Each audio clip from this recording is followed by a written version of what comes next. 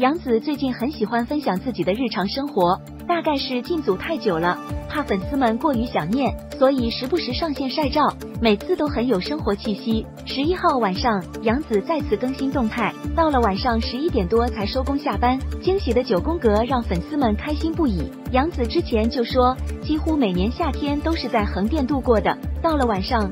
街道依然灯火通明，很热闹。杨紫站在夜市马路边上自拍，戴着口罩和帽子，也遮不住神采奕奕的大眼睛。忙碌了一天的杨紫没有一丝疲惫，眼神看起来依然很有灵气呢。杨紫本身就喜欢小动物，家里也有养了很多年的宠物狗，在街头遇到了流浪小狗，杨紫不忘投喂食物。还蹲下和小家伙合影，歪着头伸手比耶。杨紫好像活泼的邻家小女生。夜市一般除了各种特色小吃，当然也少不了套圈这样的传统项目。杨紫专门给地摊拍了照片留念，氛围感拉满了，很有夏天的气息。大概率是杨紫在套圈的时候没有拿到自己心仪的玩偶，所以后面才有了去精品店买玩偶的照片。画面里，杨紫抱着猪头玩偶再次自拍，马上三十岁的人了。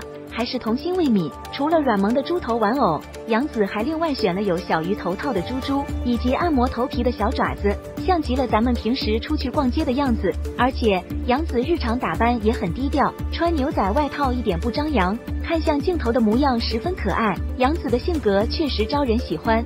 还有一张是杨紫与好友们的同框照，在街头吃雪糕太接地气了，能看到杨紫的雪糕已经吃掉接近一半，说明她不是摆拍，是真的在享受下班之后的轻松时光呢。在压力那么大的演艺圈打拼了多年，杨紫的心态一直那么平和，每次出镜都很有亲和力，让人感觉不到距离感，这也是她路人缘好的原因吧。以后姊妹可以多多分享，大家都很爱看杨紫。